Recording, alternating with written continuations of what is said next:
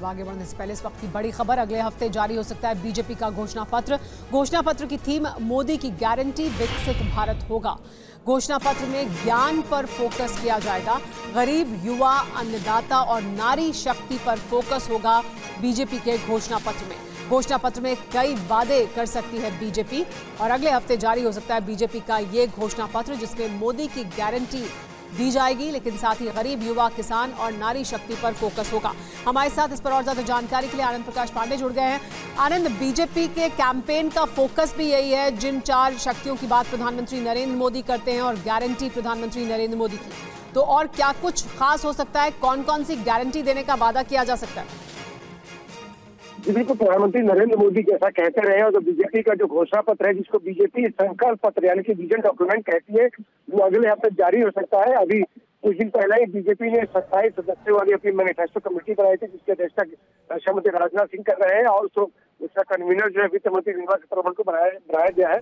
तो एक अप्रैल को इस कमेटी की पहली बैठक हुई थी, और दूसरी बैठक जो है इस कमेटी की कल चार बजे रखी गई है। और इस बैठक के बाद बताया जा रहा है कि जो बाकी जो फॉर्मेलिटीज है उसको तय कर लिया जाएगा किन किन इश्यूज़ को शामिल करना है मैनिफेस्टो में बीजेपी संकल्प पत्र में। वो पहली बैठक में उसको तय कर लिया गया है और उसके बाद कुछ और स्टेक होल्डर से बातचीत करनी है। कल की बैठक के बाद वो भी पूरा कर लिया जाएगा। उसका उसी प्रधानमंत्री नरेंद्र मोदी और जेपी नड्डा, जो बीजेपी का संकल्प पत्र तैयार होगा, उसको एक बार देखेंगे।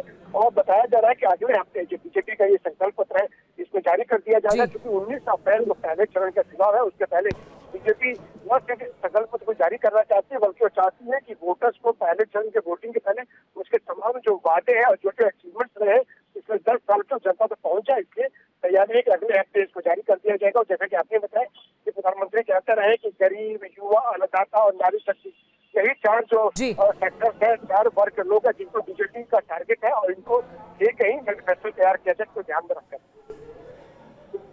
बिल्कुल आनंद, बने रहे आप हमारे साथ। जो अगली खबर है, उस पर भी आपसे और ज़्यादा जानकारी चाहेंगे।